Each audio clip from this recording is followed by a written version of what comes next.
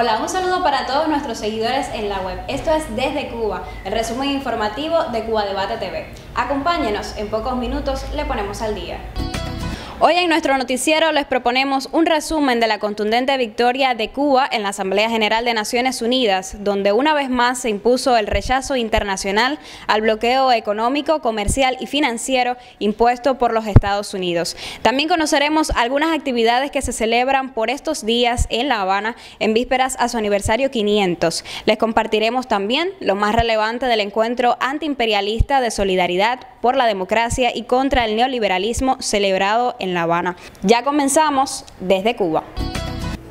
Este jueves Cuba obtuvo otra victoria contundente en la ONU. En el órgano principal de las Naciones Unidas nuevamente se impuso el rechazo abrumador a esta política genocida, criminal e injusta que impide el desarrollo sostenible de nuestra sociedad y perjudica en lo fundamental al pueblo cubano.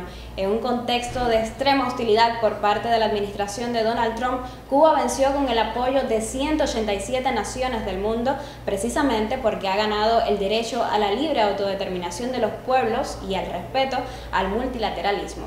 Por casi seis décadas, Cuba ha sido víctima del sistema de sanciones más injusto, severo y prolongado que se ha aplicado contra país alguno. El gobierno de los Estados Unidos sí es responsable. Pese a todas las limitaciones y dificultades que vive nuestro pueblo, Cuba ha sido capaz de contrarrestar las intenciones manifiestas del bloqueo, su efecto abrumador durante seis décadas y su impacto incuestionable sobre las potencialidades del país.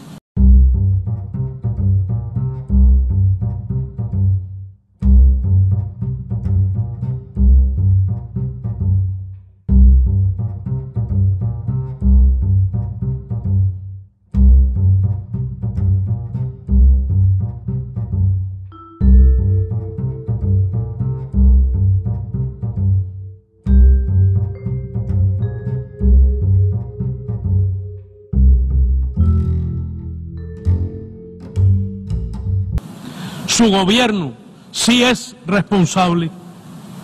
Año tras año, la delegación de los Estados Unidos en esta sede, como acaba de hacer su embajadora, ha expresado con altas dosis de cinismo que su gobierno apoya al pueblo cubano.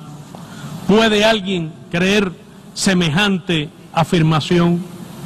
El gobierno de los Estados Unidos miente y falsea los datos sobre supuestas licencias para operaciones de ventas de medicamentos y alimentos a Cuba que muy difícilmente llegan a concretarse. La delegación de Estados Unidos en ese escaño debería explicar en esta asamblea las condiciones que impone a las compras cubanas. No hay acceso a créditos, ni oficiales ni privados. Se debe pagar al contado cuando la mercancía llega a puerto se persigue a los bancos que manejan nuestras transacciones, no se pueden utilizar embarcaciones cubanas. Si es responsable, ¿quién comercia en el mundo bajo esas condiciones? El exitoso y eficaz modelo cubano ha asegurado y asegura a las cubanas y cubanos igualdad de oportunidades, equidad y justicia social a pesar de la hostilidad y la coerción.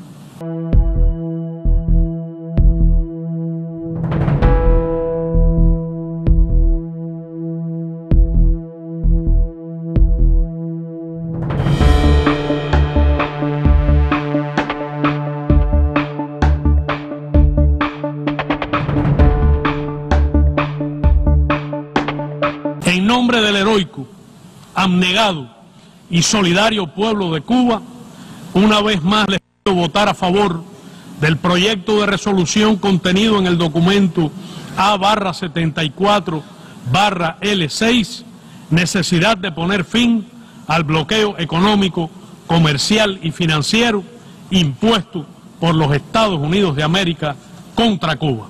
Muchas gracias.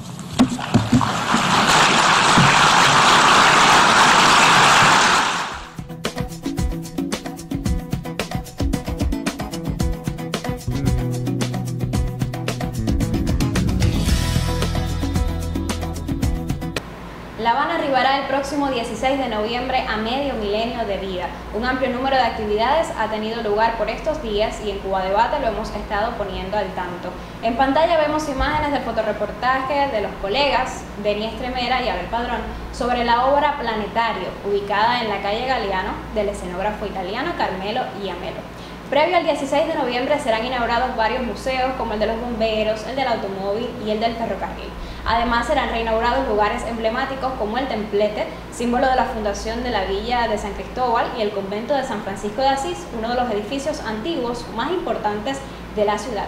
Por supuesto que habrá muchísimas otras sorpresas por estos días, así que les recomendamos buscarlas en Cuba Debate. También le proponemos nuestra serie dedicada a La Habana, Habana en 500 segundos, un recorrido por lugares icónicos de la ciudad con el periodista Ciro Bianchi. Tierra que me llama. Vamos a andar la Habana sana. Te mi sublevado, bitch. Y tumbado, como se pone la Habana. De la noche a la mañana. Como descargan las cubanas. Que te reclaman. Camine con nosotros y conozca. Esto es una producción de Cuba Debate, La Habana en 500 segundos. Acompáñenos. Más de 1.200 delegados de 95 países participaron en Cuba en el encuentro antiimperialista de solidaridad por la democracia y contra el neoliberalismo. Líderes de movimientos sociales, partidos, intelectuales y académicos abordaron los nuevos desafíos de la izquierda ante la creciente hostilidad del imperialismo.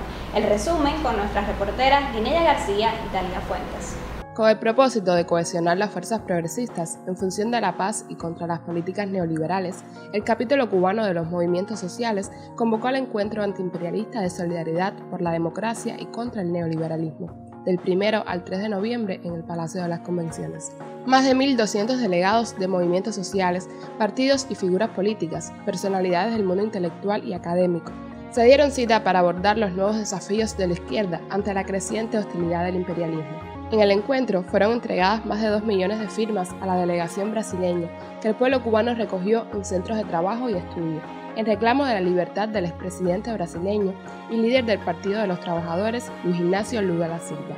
Como resultado del trabajo de tres días de sesiones, los delegados presentaron propuestas de un plan de acción que incluye establecer una estrategia de comunicación común como arma de acción de la izquierda en la clausura estuvieron presentes el general de ejército Raúl Castro Ruz, primer secretario del Comité Central del Partido Comunista de Cuba, y el presidente cubano Miguel Díaz Canel Bermúdez, quien habló sobre la necesidad de construir proyectos comunes frente a la agresión imperialista. Creo que todos sentimos que se están abriendo las grandes alamedas por donde pasan ya hombres libres para construir una sociedad mejor. El presidente de Venezuela, Nicolás Maduro, quien también estuvo en la clausura, aseguró que buenos y mejores aires hay en América Latina. Hermanos y hermanas, buenos y mejores tiempos, buenos y mejores aires hay en América Latina, en el Caribe y en el mundo. Tengamos fe y optimismo que tiempo histórico de las ideas antineoliberales. Tengamos la unión suficiente, tengamos la fuerza espiritual suficiente para seguir empujando adelante en nuestro tiempo, en nuestro siglo y nadie nos lo quitará. Muchas gracias, queridos hermanos, queridas hermanas. ¡Hasta la victoria siempre!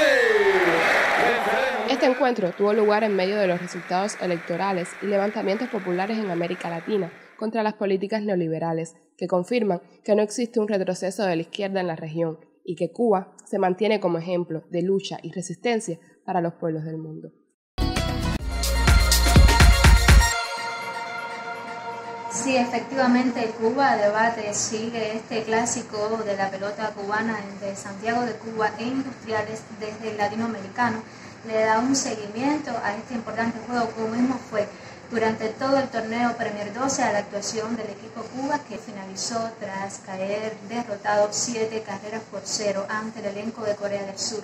Corea del Sur, que era el favorito para ganar este partido, por supuesto, el actual campeón defensor, el mejor equipo por nómina y también el equipo que ha demostrado mejor picheo durante todo el torneo, solamente una carrera le ha permitido a los contrarios. Cuba sí perdió su pase a la super ronda, también la posibilidad de ganar ese boleto olímpico que ahora tendrá que ganarlo y tendrá un chance en este caso en el preolímpico que se avecina en marzo en Estados Unidos. Veremos qué pasa, pero sobre el torneo Permir 12 me llama la atención que nuestros muchachos prácticamente no batearon. Dos hits ante Canadá. El juego de Canadá que se pudo haber ganado, lamentablemente los cubanos no lo hicieron, tres carreras por cero y ante Australia 8 hits, o sea, ligaron un poco más, pero de nuevo ante Corea del Sur solamente dos imparables durante todo el partido. Digamos que hombres fundamentales llamados a la ofensiva como Cepeda, como Yoribel Gracial no lo hicieron.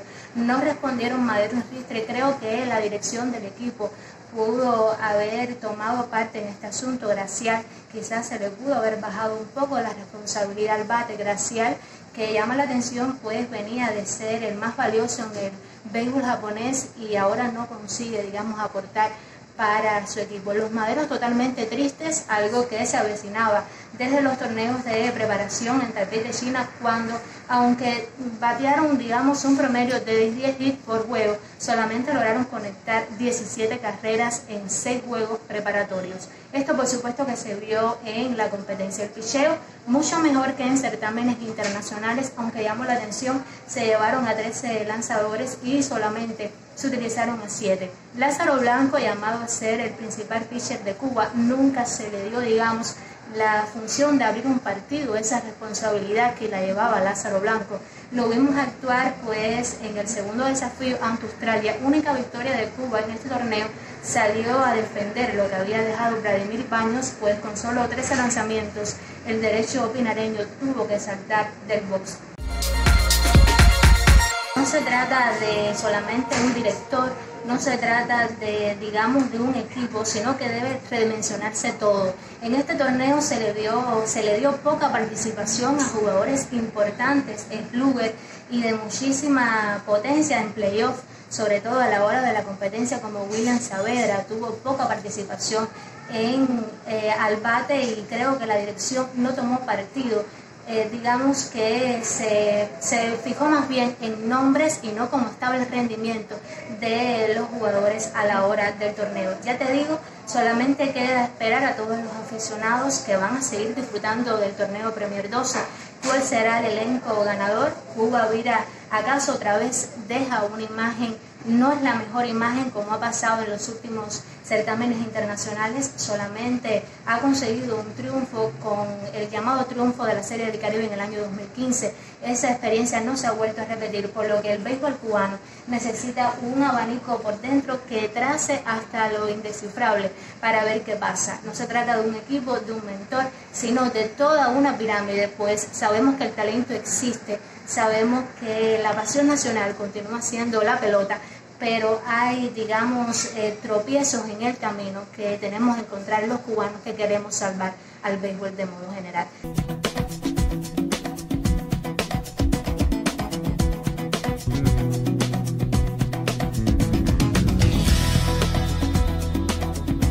Hasta aquí el resumen informativo de Cuba Debate. Como siempre, me despido invitándolos a leernos de domingo a lunes. Recuerda seguirnos en las redes sociales, estamos en Facebook, Twitter, Instagram, YouTube. Compartan nuestros contenidos y por favor déjenos saber sus opiniones. Desde Cuba los estaremos esperando. Hasta la próxima.